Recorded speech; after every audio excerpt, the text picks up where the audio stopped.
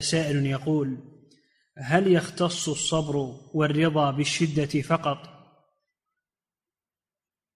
الرضا دائما عن الله عز وجل وتقديراته دائما في الرخاء والشدة.